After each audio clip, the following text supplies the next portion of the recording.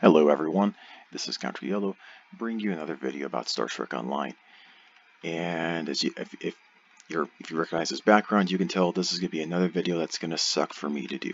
And it was something that was announced just recently that the weekend store and a couple of other currencies are going to be going away inside the game. And so I, I will talk about what just happened, how this is repeating history from back in 2015, why that's bad for the game, my thoughts on the situation. And so yeah, because of all that, the lockbox system video that I was going to talk about this week is going to be pushed to next week, hopefully, as long as Cryptic doesn't also do something else stupid next week as well. If Cryptic does something else really dumb, then I will do a video on that instead, and then I'll eventually get to the lockbox system at some point. So anyway, feel free to see the time links in the description um, to skip around in this video. Anyway, so for the Ten Forward Weekly stream, they mentioned a couple things. The big thing was that the single queue events are going to be going away inside the game. They're all going to be rebranded as part of the random, not random, but the feature task force operation system. I labeled that wrong. Um, they're all going to be using the same currency. It's different branding, but it's going to be the same system now for everything. Mirror Invasion, Instant Breach, Crystal Entities is all going to be part of the featured TFO system. The problem that I don't like about it is the weekend store is going to be going away. The the weekend events, the Kobayashi Maru and um, the Reno Sompek are going to be treated just like the red alerts were, which is really dumb. Alongside that, the weekend event store is going away, and all those items are going into Phoenix Lockbox, which is another stupid thing to do, but we'll, we will get into that. The reason is because right now Cryptic is really pushing the FOMO mentality, or the fear of missing out. It's not uncommon in a lot of MMOs. This is one of the biggest ways to keep people active and especially logging in daily. Basically, like, oh hey, here's a special event going on. If you don't log in today so you can participate in this event, you're not going to be able to earn this reward right now or ever again. FOMO has exists in a lot of STO. There are 222 recruitment events we're that way. Delta Recruit came back a couple of years ago, which which which is cool. Um, the feature TFOs were, are are like that. The single queue events were, were the old version of, of feature TFOs inside the game. Um, they've made them a bit better in recent years. Before it was that you had to earn the item for every single character, which was unfortunate. Now it's now you actually finish the event and, and it's account unlocked. The problem was the weekend store didn't function that way. The weekend store with its two events was a weekend thing that lasted, you know, five, six days, and four, five, six, something like that. Um, if, if you did it right, you, you could get like five vouchers during, during the time. But the thing was like, this was the only non-FOMO activity that would allow you to earn account unlocked weapons and items. If you miss one weekend event, well, you could, you just wait for the next weekend event, get your couple of vouchers, and then buy the item from the store that you want, and now it, it's an account unlocked for everyone on, on your account. And they're getting rid of that. The weekend store is going away, and all those items are going into Phoenix Lockbox, which means they're all account, or not, um, the account unlock stuff is gone. It'll, it'll be character uh, unlocks from, from going forward if you didn't unlock this stuff in the previous weekend events. With this loss, the only two places to get account unlocked items is, is the C-Store and through FOMO events. Yes, technically, if you have a ton of Latinum, you can unlock a Ferengi, or not Ferengi, a very specific um, club dance with lots of Latinum. We are talking about um, we're talking about combat specific stuff in, in this video. And for combat specific stuff, it's just C-Store and FOMO events now for account uh, unlocked weapons and items. Now, if you pay attention to the very beginning of this video, you would know that I said we are repeating history, and that's because we are. Back in 2015, Cryptic had had a similar question and they approached it in a similar way. They decided to retire, re retire um, Summer Pearls. I don't know how to say, say that word. But that the Racing Pearls were a little bit abused by some of the community because they were like, hey, um, if you didn't earn a, a summer event the previous year, what you can do is just get several characters to like level I think 15 is what it was back in back then, be able to, to participate on Risa.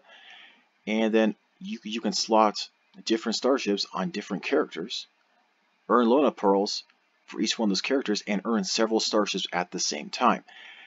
And characters was like, um, we don't like this. We don't want you to do that anymore. But um, we don't know a good way in our code to do that, so um, how about we just get rid of the currency and we'll add a new currency that has that limitation on it. And that is what they did. As, as they said in there, we want to maintain the exclusivity and collectability of event ships from the summer event each year. AKA, we want to turn the event into a FOMO event, and we have to retire the old currency to do so. Right now, four years later, why are we retiring these four old currencies? Well, all old CLQs are going to be retired and rolled into the featured TFO um, system going forward. AKA, we want to turn everything that was like a featured TFO or could be turned into a featured TFO into what, what that is today, into a FOMO type event, and we have to retire the old currencies to do so. Similar type of situation. Again, it's also in summer. And, you know, the coincidence that we're getting a Tier 6 Risian Corvette this summer I don't think is a coincidence at all. They were looking at like, hey, we have this problem. What did we do previously in Star Trek Online to fix this type of problem? Oh, hey, during the summer, we did this type of thing. Oh, so as you know, potential consolidation for this, this summer we're going to give everyone the Risian Corvette because it's the most customizable ship in the game when it comes to paints. As kind of consolidation for this. Kind of sucks to be honest.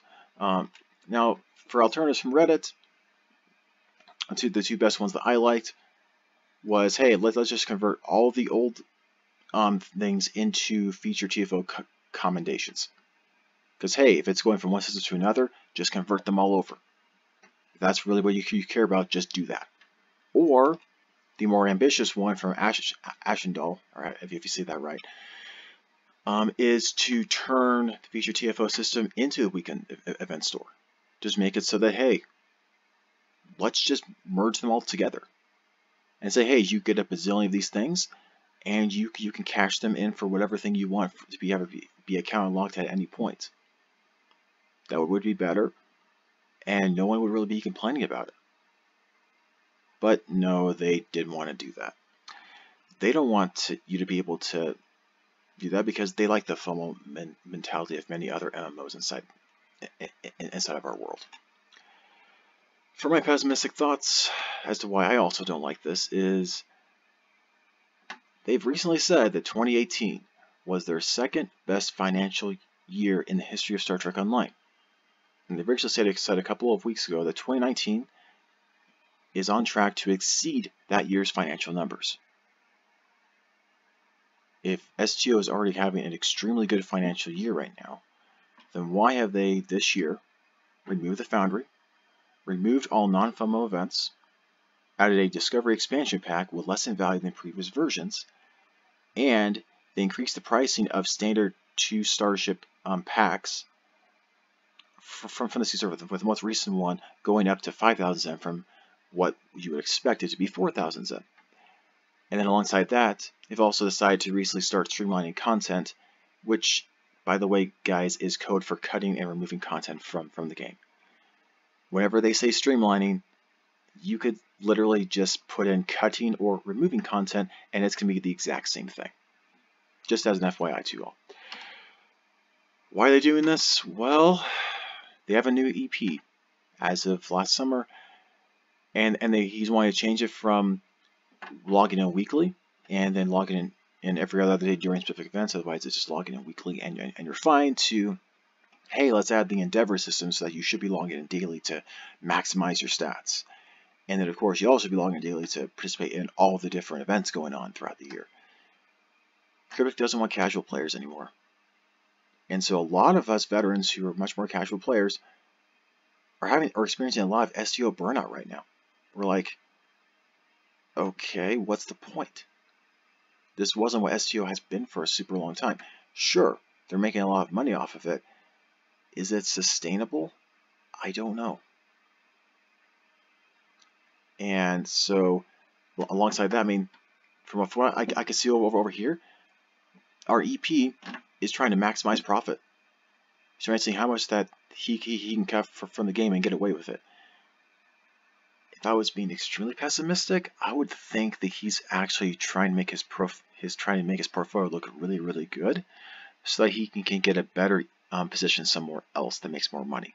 But that's just me being super pessimistic here. Anyway, um, alongside that, they're making a bigger emphasis on the lockbox system, and which sucks especially with the Phoenix lockbox. They're trying to add up a zillion things to that instead of account unlock things that they used to have inside the game. So TLDW,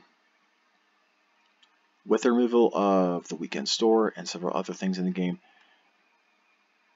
the current system in STO, it may be or may not be intentional, but the STO is actively punishing you for not playing earlier in, in the history of the game. If you're a veteran of the game, then you're more rewarded. If not, then you're actively punished repeatedly throughout the game. And they obviously want you to play the three forms of Phoenix Lockbox. Obviously, Phoenix Lockbox they want you to use if you know you didn't get those account lock things previously. And because there's no alternatives on the exchange for this, you have to play this particular type of lockbox to get the prizes. This is why this one gets the most complaints. R&D promo packs, regular lockboxes, you could just have a couple of handful of people waste a lot of money on those and sell them on, on the exchange. Then the rest of us can buy the items piecemeal for a slightly inflated value and not have to pay the full true value of those different things from those lockboxes. When I eventually talk about my lockbox, lockboxes in my lockbox video, I will get into more detail as to why this is very, very bad for the whole health of the game. Alongside all that, because it's much more of character bound stuff instead of account bound. STO is de-incentivizing playing multiple characters. The account is a player thing that they touted a lot back as STLV 2018 is dead. I'm sorry, but if that was their intention back then, it's definitely not now. Account is not the player anymore in STO. Individual captains are, are the player once again inside of this game.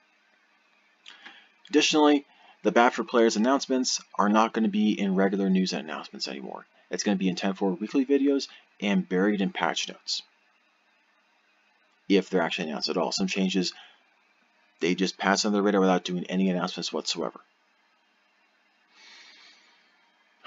They've done that several times in the past year. But anyway, from RTLDR, if you aren't playing STO right now, please don't start yet. We really need to see if Cryptic will actually make things better for you going forward. They promise that they will, and that things are in progress. They haven't announced anything yet. Sure, they've done the Tier 6 leveling starships. They haven't added most of the fleet Tier 6 starships to that yet. Just the C-Store, um, Phoenix Pack, and Lockbox ones.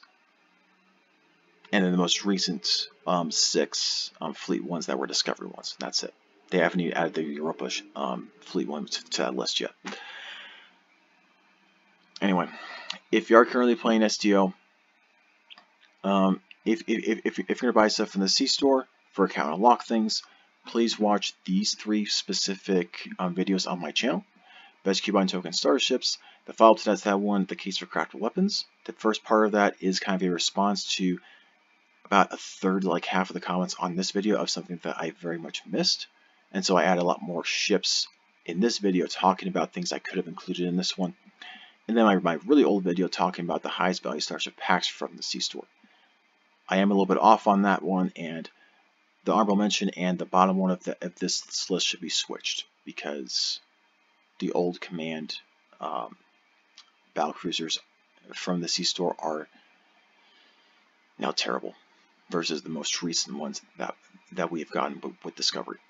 Additionally with that, for, for your FOMO events, if you're ever considering the item or starship available in, in the FOMO event for more than one character on your account, you should complete the event. Okay, whether that's actually doing the four or um, doing the 14 times for the event, or buying the um, 10 token pack from from the C store and then filling in and with four more times playing the event. it's going to be much cheaper for you because that, that will allow it to be account unlocked versus waiting for it to eventually go into Phoenix lockbox and you know into, the rare, very rare, or epic drops from from that, and having to spend about 200 bucks to, to get that starship there. If your luck is very good for you, which might really really suck for you. But um, yeah, that is my advice. If, if you don't care about the item or the starship or the trait or whatever from it, then don't worry about it. Just don't worry about it. Just saying. But anyway, um, that's my pessimistic look at all this. Um, on the SC Web website right now, there, there's a current um, promotion going on that if you do these couple, like sign up for a couple different things, you can um, have a very, very low chance of getting some of the STLV 2018 bridge officers, potentially a, um, a command Dreadnought Cruiser pack. And if you get the grand prize somehow, then you might be able to get two tickets to Star Trek Las Vegas 2019 um, at, at the end of this summer. You might be the lucky one. I wouldn't really count on it. I did this type of, I've done with these types of things, you know, in the past couple years, and I haven't ever gotten anything. But hey, maybe one of you all might actually get lucky and get some of these good bridge officers.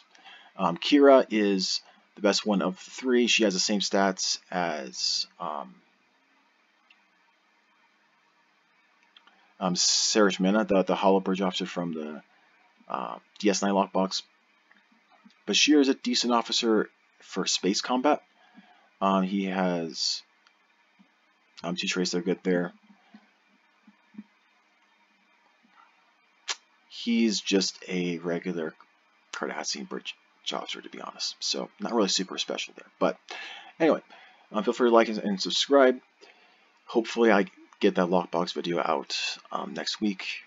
We'll see if Cryptic does anything else stupid and dumb. Anyway, thank you all for watching, and enjoy the rest of your day.